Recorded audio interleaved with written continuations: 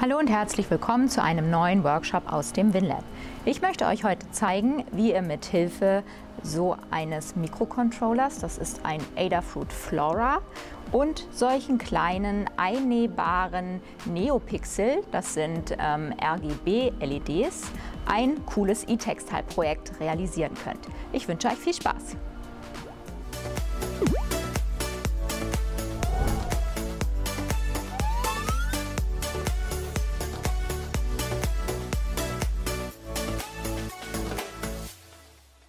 Für unser heutiges Projekt nutzen wir den Adafruit Flora. Das ist dieses äh, kleine Board und dort gibt es einen ähm, Zugang über USB und wir benutzen drei Pins. Das ist einmal für den Strom, ähm, für Ground, also die Erdung und die Nummer 6 für unseren heutigen Code, den wir später gemeinsam drauf spielen werden.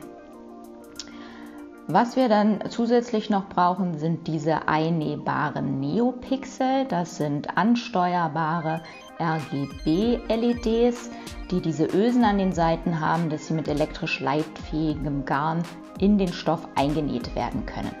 Dann benötigen wir elektrisch leitenden Garn. Dann brauchen wir diese Alligator Clips, um nachher zu überprüfen, ob unser Board funktionstüchtig ist, bevor wir es dann in unseren Stoff einnähen. Dann benötigen wir einen USB-Anschluss, um das Board mit dem PC zu verbinden. Wir brauchen Nagellack, das erkläre ich euch nachher, wofür der benötigt wird.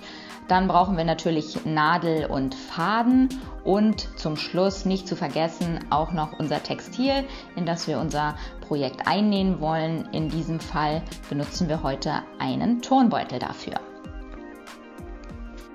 Dann nehmen wir uns unser Flora Board und ähm, verbinden dieses mit dem Computer über den USB-Zugang.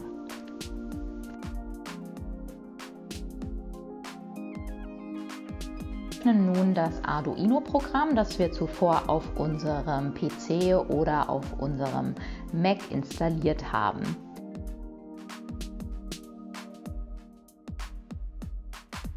Als erstes gehen wir dazu oben in der Menüleiste auf Werkzeuge und klicken den Bibliotheksverwalter an.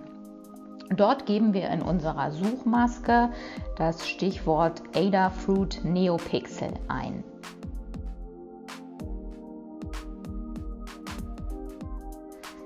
Hier seht ihr es. Ähm, bei mir ist das jetzt bereits installiert. Wenn ihr das noch nicht installiert habt, könnt ihr hier auf Installieren klicken und das Ganze dann wieder schließen.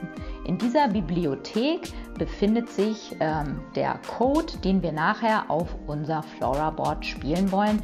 Der wird hier von Adafruit ähm, für die Arduino Software bereitgestellt.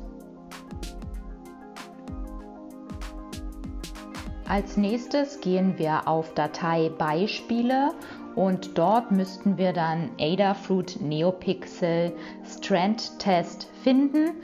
Das einmal anklicken und dann wird der Sketch hier reingeladen in unser Programm.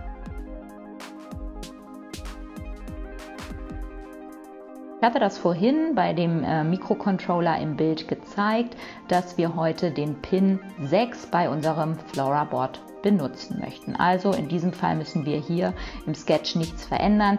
Die 6 bleibt stehen. So, dann können wir einmal hier oben auf diesen kleinen Haken links klicken. Das äh, wird dann entsprechend ähm, der, der Sketch kompiliert und wird überprüft, ob das alles funktionstüchtig ist. So, steht jetzt hier Kompilieren abgeschlossen. Wir haben also alles richtig gemacht. Als nächstes gehen wir nochmal auf Werkzeuge, auf Board und auf Board Verwalter.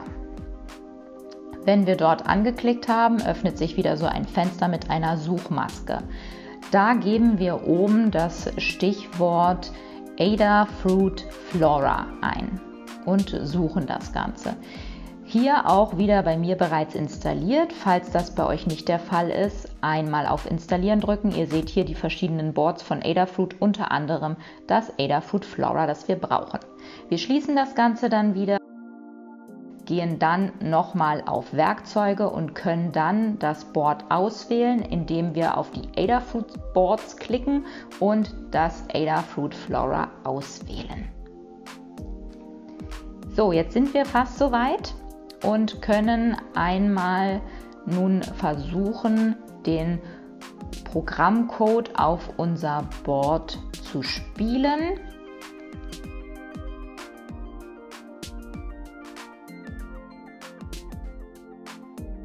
Dafür drücken wir einmal auf diesen Pfeil Hochladen. Und hier unten steht jetzt Hochladen. Wir müssen kurz einen Augenblick warten, bis das Ganze hochgeladen ist, bis dieser Ladebalken hier bis zum Ende durchgelaufen ist. Und dann müsste es auf dem Board ankommen. So, wir sehen jetzt eine Fehlermeldung. Ähm, das passiert durchaus gelegentlich. Wir schauen uns das mal an. An dem ausgewählten Port konnte kein Board gefunden werden. Okay, gut, dann werden wir jetzt einmal schauen. Wir gehen nochmal auf Sketch, äh, auf Werkzeuge gehen wir einmal und schauen uns den Port an. Hier bei Port müssen wir natürlich den Adafruit Flora auswählen, damit das auch entsprechend auf das Gerät übertragen wird. Hier können wir dann noch einmal auf Hochladen drücken und schauen mal, ob es jetzt funktioniert. So, das sieht ganz gut aus. Hochladen abgeschlossen und der Programmcode ist damit auf dem Board gespeichert. Wir können nun das Flora-Board einmal vom Computer wieder trennen, indem wir den USB-Anschluss abstöpseln und werden nun mit Hilfe der Krokodilsklemmen testen, ob unsere Neopixels mit dem ähm, raufgespielten Programmcode funktionieren. Dazu verbinden wir einmal die drei Pins, die ich vorhin schon erwähnt hatte. Wir brauchen Ground, das äh, nehmen wir hier mit der grauen Alligator Clip. Dann haben wir den Strom mit Rot, das ist ähm, dieser untere. Und wir haben den Pin Nummer 6, den machen wir hier in unserem Fall einmal mit Grün. Dann nehmen wir uns eine unserer Neopixel und verbinden dort entsprechend. Also Grau, Ground geht auf Minus, da ist ein kleines Minuszeichen neben, diesem, neben dieser kleinen Öse. Das wird dort einmal rangeklemmt. Dann nehmen wir als nächstes hier Rot, also ähm, unseren Strom für Plus. Das wird da angeklippt und grün. Die grüne Klemme schließen wir einmal an an dem Neopixel, wo der Pfeil in Richtung der LED zeigt.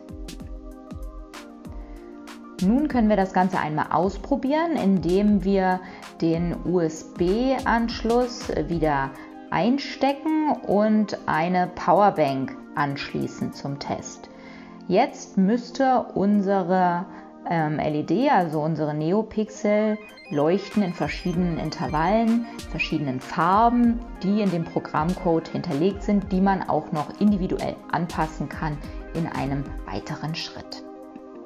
So, nun wissen wir, dass unser ähm, Programmcode erfolgreich auf das Flora Board transferiert wurde und es geht nun äh, ums Einnähen des Ganzen. Zum Vernähen der Komponenten benötigt man dann elektrisch leitendes Garn.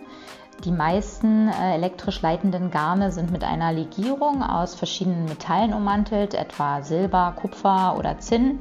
Und der Kern besteht in der Regel aus Baumwolle oder Polyester. Ich habe hier in dem Projekt Karl Grimm Garn verwendet. Das ist ein Silberfaden mit einem Kunststoffkern.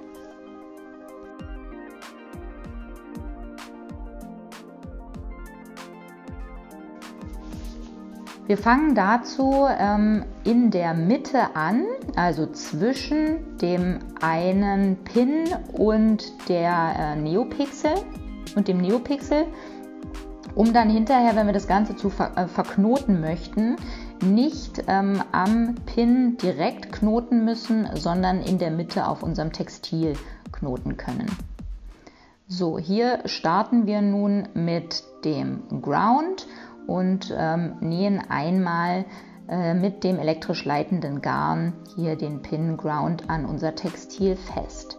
Das Ganze wird jetzt so, wie wir das gerade mit den äh, Krokodilsklemmen getestet haben, entsprechend vernäht. Also Ground geht zum Minus der Neopixel. Der Strom, also die erste Öse unten, geht zum Plus beim Neopixel und Pin 6 geht zum eingehenden Pfeil auf der Neopixel.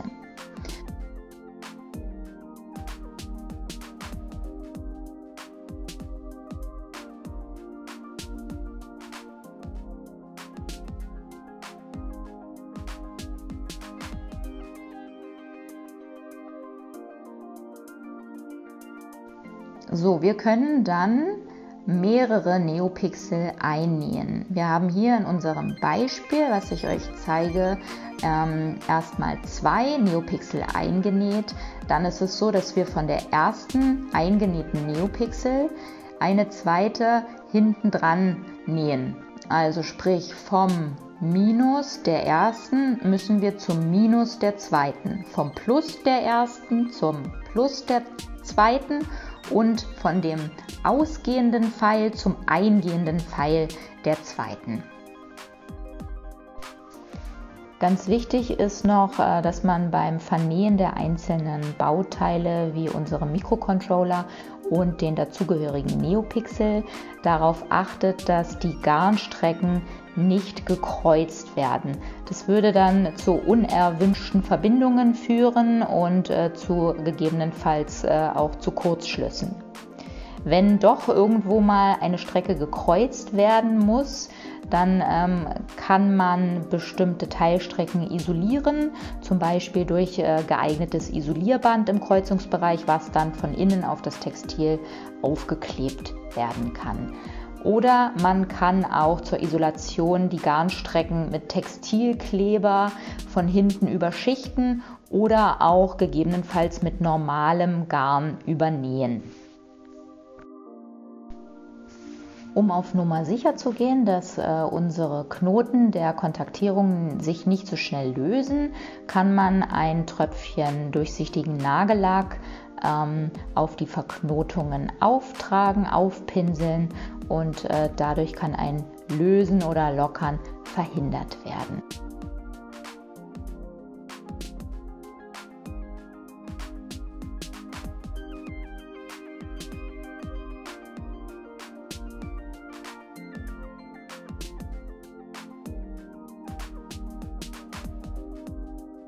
So, wenn das Ganze dann vernäht, verknotet, mit Nagellack fixiert ist, dann ist unser eingenähtes Projekt auch schon fertig. Und dann können wir ganz gespannt ähm, hier wieder unsere Powerbank über den USB-Anschluss anschließen und schauen, ob alles auch so funktioniert, wie wir uns das vorgestellt haben. Wenn wir das Ganze jetzt wie hier in so einem äh, Turnbeutel oder Rucksack integriert haben, dann können wir einen kleinen Schnitt machen und das Kabel zu der Powerbank quasi nach innen legen, sodass wir die Powerbank im Rucksack mit uns tragen können und das äh, Projekt äh, dort jederzeit an- und ausschalten können. Das Gute an diesem ähm, Flora Board ist, es hat auch einen Schalter. Das heißt, wir müssen nicht die Stromquelle kappen, sondern wir können direkt über den Schalter am Board ähm, unser Projekt ein- und ausschalten. Ich hoffe, es hat euch Spaß gemacht und ihr schaltet das nächste Mal wieder ein, wenn es einen neuen Workshop aus dem WinLab gibt. Falls ihr es noch nicht getan habt, lasst bitte gerne ein Abo da und schaut auch mal auf unserem Instagram-Kanal vorbei. Bis bald. Tschüss.